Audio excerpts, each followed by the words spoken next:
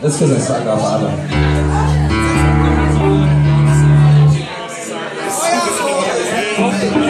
Thanks everybody for uh, listening.